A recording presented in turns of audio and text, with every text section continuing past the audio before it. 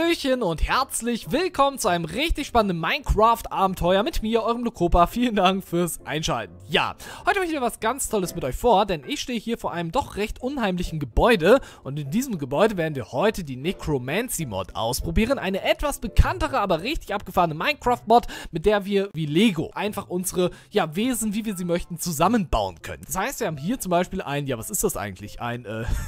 ein Huhn-Creeper-Schaf oder sowas. Und ähm, ja, solche Wesen können wir kreieren. Wir können auch eine Villager, Spinnen, äh, zusammen basteln und so vieles mehr. Es, es, es, gibt so viele Möglichkeiten. Es ist wirklich der Hammer. Ja, demnach werden wir heute ähm, dieses Gebäude erkundschaften. Wir werden unsere eigenen Wesen zusammenbauen, eine kleine Armee gründen und damit einen, ja, ziemlich starken Boss bekämpfen. Das wird sicherlich sehr lustig. Unser kleiner Lumpi ist auch endlich mal wieder am Start. Unser kleines Hotdog-Hündchen. Und wir werden jetzt gemeinsam, wie gesagt, hier einfach mal reinlaufen und gucken mal, was uns hier erwartet. So, Schildkröten müssen leider draußen bleiben. Ich kann nicht lesen. Sie haben hier einmal, ähm, genau, den Bossraum. Da werden wir gleich den Boss bekämpfen. Das wird sehr interessant. Und hier haben wir die Möglichkeit, erstmal unsere eigene Armee zu gründen. Wie funktioniert das Ganze? Es ist relativ einfach. Wir brauchen lediglich einen Altar mit Cobblestone und einem Holzblock einfach in dieser Konstellation hier auf den Boden gestellt. Das Ganze müssen wir mit einem mysteriösen Buch rechts klicken. Und ähm, um dieses Buch zu craften, brauchen wir, ich hoffe, dass ihr alle eure Impfpässe dabei habt. Wir brauchen nämlich eine Flasche Blut. Genau. Demnach ähm, eine Nadel einfach mal zur Hand genommen. Mit Kn äh, Knochenmehl können wir das Ganze einfach hier zusammenbauen bzw. umwandeln. Und jetzt brauche ich natürlich noch einen freiwilligen Kandidaten. Ich glaube, das hat Lumpi mitbekommen. Der ist schon direkt abgehauen. Lumpi, komm, bei Fuß. Ich brauche mal ganz kurz ein bisschen Blut von dir. Hier ist er doch schon. Alter. So, Moment. Sekunde. Das tut nur ganz kurz weh, Lumpi. Zack. Und schon haben wir ihm ein bisschen Blut abgezockt. Genau, unserem kleinen Hotdog-Hündchen ist scheinbar eine Blutwurst. Jetzt haben wir hier Glas von Blut. Ich meine, allein vom Namen her. Glas von Blut. Ist das das, weiß ich nicht, das klingt irgendwie so adlig, oder? So wie Le Copa von Fußpilz. Oder, äh, ist das Jugendsprache? Ibims von Blut? Keine Ahnung, das ist irgendwie ein bisschen komisch. Okay, ähm, für das Buch brauchen wir noch ein äh, Vanilla-Buch. Wir brauchen ein Feder, Netherwarzen, Leder und natürlich ein Tintenbeutel. Und mit dem ganzen Kladderadatsch können wir ganz einfach hier im Crafting-Table das sogenannte Necronomicon hier ganz einfach craften. Zack, einfach mal zur Hand genommen. Dieses kleine, recht lustige schwarze Taschenbüchlein, hier haben wir es auch schon ganz toll designt, können wir nutzen, um dieses Konstrukt in einen ziemlich coolen Altar zu verwandeln. Und jetzt kann es mit unserer Operation losgehen. Ein Rechtsklick ausgeführt, dann seht ihr schon, was für Elemente wir brauchen. Ja, wie gesagt, die Mod ist etwas bekannter, aber dennoch wollte ich euch diese hier nochmal ganz toll zeigen. Ähm, wir brauchen unter anderem Blut, da wissen wir jetzt, wie wir da rankommen, sowie Seelen. Und hier in der Mitte können wir nun selber entscheiden, wie wir unseren Mob zusammenstellen können. Das ist echt cool. Wir können beispielsweise eine, Achtung, Creeper, Spinne, Schafhexe erstellen. Ich meine, wie geil ist das denn? Das wird richtig witzig. Leider funktioniert das nicht mit echten Minecraft- Spielern, das wäre auch tierisch lustig, wenn man so ein Lucopa Logo Stylex Hetty Michelle Mob erstellen könnte. um Gottes Willen, nein. Aber naja. Jetzt brauchen wir natürlich erstmal eine Seele. Wie wir an Blut rankommen, das wissen wir bereits. Um eine Seele zu fangen, brauchen wir eine Sense. Craftbar mit Blutstock, Eisenhake sowie Obsidian. Dann haben wir dieses lange Gerät gecraftet. Oder alternativ haben wir eine noch stärkere Sense, die sogenannte Knochensense. Craftbar mit einem Diamantknochen, eine Sense sowie Obsidian. Dann haben wir dieses Gerät Gerät ebenfalls zusammengebaut und schaut euch das mal an. Es ist ganz toll modelliert und damit können wir jetzt Seelen einfangen und jagen. Yay, das gefällt mir. Ja, einige fangen Insekten oder auch Pokémon bei Pokémon Go. Wir allerdings fangen Seelen in Minecraft. Hell yeah. Okay, mal gucken. Haben wir denn hier irgendwo eine arme Seele, die wir einfangen können? Zum Beispiel hier die Kuh. Einfach mal zur Hand genommen. Auch hier brauchen wir natürlich eine Glasflasche, damit das Ganze eingefangen wird. Einfach mal hier zum Beispiel mit der Knochensense bekämpft. Und schon seht ihr, haben wir direkt eine Seele im Glas gefangen. Yay. Hallo meine liebe Kuh, weißt du, was ich in der Hand habe? Das ist die letzte Milch, die du gegeben hast. Hahaha, zack, und jetzt direkt und blöpp. Und schon haben wir die nächste Seele eingesperrt. Yes. Na, mein liebes Schweinchen, hast du schon mein langes Teil gesehen? Zack, und... Moment, bleib hier. Wehe, Lumpi, das ist mein Schwein. Zack. Ha, und wieder eine Seele gefangen. Ja, nice. Acht Seelen haben wir jetzt schon. Das ist ja cool. Ja, leider können wir die Seelen leider nicht unterscheiden. Also es ist nur ein und dieselbe Seele. Das heißt, wir können nicht sagen, ja, die Seele kam von einem Schwein, die Seele kam von einer Kuh, die Seele kam von einem Creeper. Leider nicht. Das wird all ziemlich allgemein gehalten. Das ist echt schade. Ansonsten hätte man wahrscheinlich noch viel mehr Möglichkeiten, allein das Verhalten der Mobs äh, zu bestimmen, die wir hier kreieren. Ne? So, ähm, ja, hier haben wir schon das erste Mitglied. Ne? Das dürfen wir nicht vergessen. Wir gehen direkt mal wieder hier rein und versuchen jetzt unseren eigenen Mob nun zu erstellen. Dazu brauchen wir natürlich noch ein bisschen Blut. Habe ich hier alles schon vorbereitet. So, da können wir schon mal die nötigen Materialien hier reinschmeißen. Zack, zack, zack ab. Und jetzt können wir selber bestimmen, wie unser Mob auszusehen hat. Das ist richtig witzig. Ähm, allerdings brauchen wir dazu ein paar Körperteile. Das heißt zum Beispiel so ein Hühner-Torso oder ein Creeper-Kopf oder äh, Tintenfischbeine. Es gibt wirklich sehr viele Möglichkeiten. Wie kommen wir an diese Dinger ran? Dazu brauchen wir, und jetzt kommt es, eine Nähmaschine. Diese können wir ganz einfach craften. Dazu brauchen wir lediglich ein bisschen Eisenfaden und Knochennadel. Dann haben wir dieses Ding zusammengebaut. So, ein Rechtsklick ausgeführt. Nicht erschrecken, wir bekommen ein ganz neues Interface. Äh, wir brauchen hier unter anderem Nadel und Strings. Das kann ich hier schon mal reinpacken. Und jetzt können wir ähm, ganz einfach diese Körperteile zusammenbauen. Ich kann direkt mal ein paar Bilder einblenden, da leider die Crafting-Rezepte mit Not Items nicht aufrufbar sind. Ich werde das nochmal in der Beschreibung verlinken.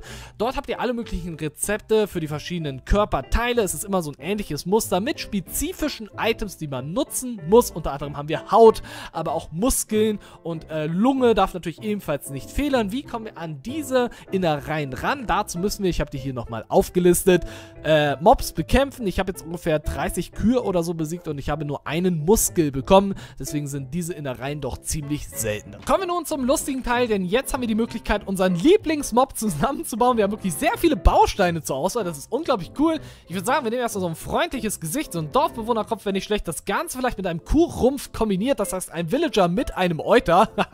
das ist geil. Dann vielleicht noch ganz lange Enderman-Beine und das Ganze mit äh, solchen kurzen Hühnerarmen verknüpft. Quasi lange Beine, kurze Arme. Das ist bestimmt besonders lustig. Oh Gott, dafür kriege ich bestimmt einen auf den Deckel. Aber wenn es so einen Mob wirklich geben würde, ich meine, wie geil wäre das denn? Wir hatten einen freundlichen äh, Mob, der Milch gibt. Er kann theoretisch, ja, kleiden und er kann sich wegteleportieren.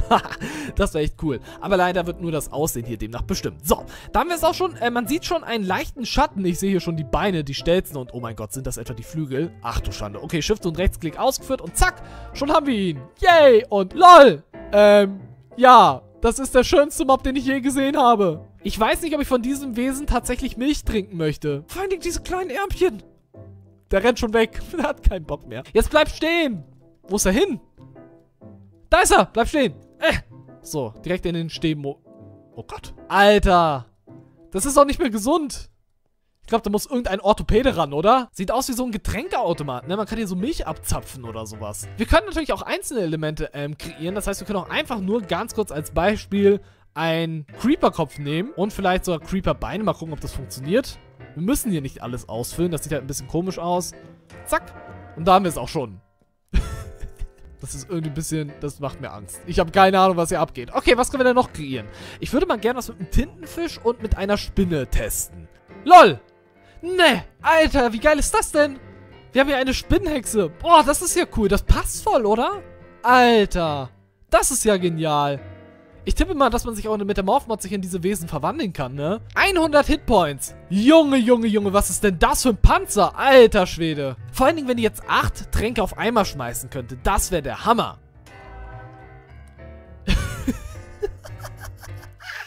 das ist irgendwie auch merkwürdig. Das gefällt mir. Du bist auch dabei. Glückwunsch. Du bist im Recall.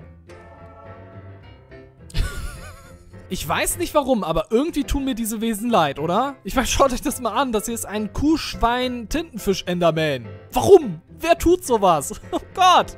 Vor allen Dingen, wenn es sitzt. ich liebe es. Es ist so genial.